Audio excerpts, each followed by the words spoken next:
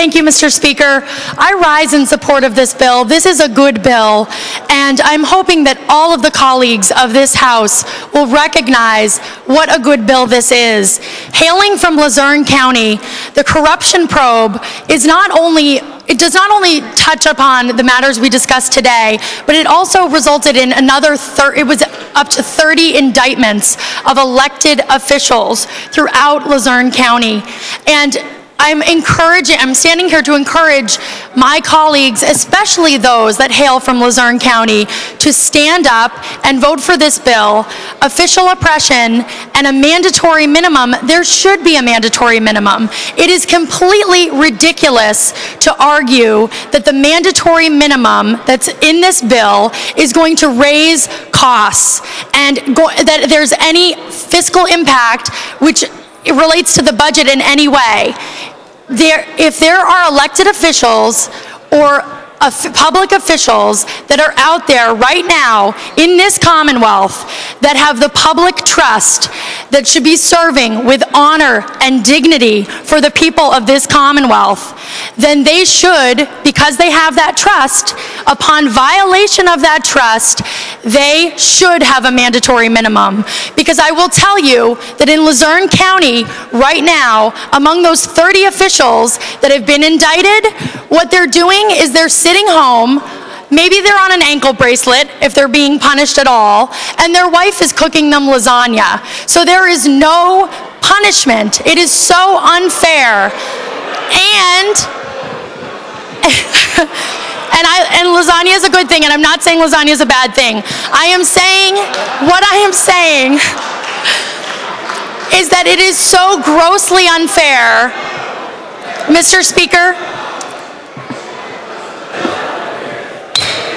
The House will come to order.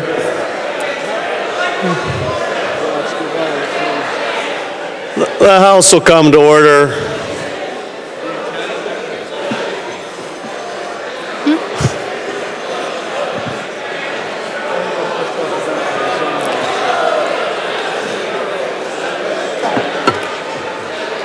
The House will come to order. The members will take their seats.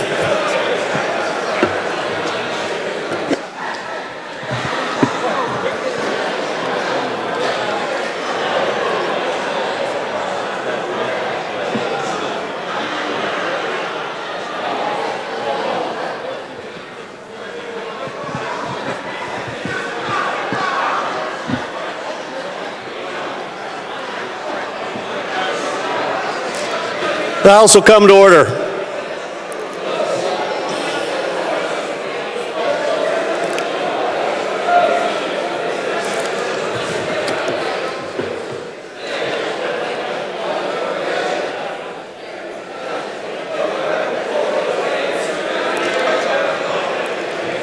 we could stay here all day.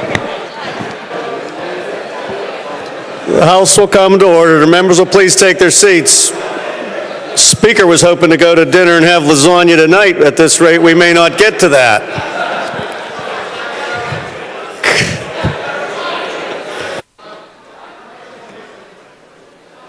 The lady may proceed. Thank you, Mr. Speaker. I ask the colleagues of this House, when speaking of, when looking at the fiscal impact of this bill, to think of the fiscal impact of the juveniles that were incarcerated. There was, there were thousands of juveniles that went away, and that's just concerning corruption in Luzerne County and, and that, and that set of circumstances. There, in this case, in this bill, in order to be convicted of official oppression and for the two-year mandatory to apply, there has to be a continuing course of conduct. I would ask all the colleagues of these, this House, even those that have stood in opposition of this bill in, eh, with the excuse of mandatory minimums or the excuse of fiscal impact, to please reconsider, because being a public official is something that should be treated with honor and with dignity. And when you violate that public trust, you should be punished in a way that is you should be punished to fit that violation. Thank you. Thank you, Mr. Speaker.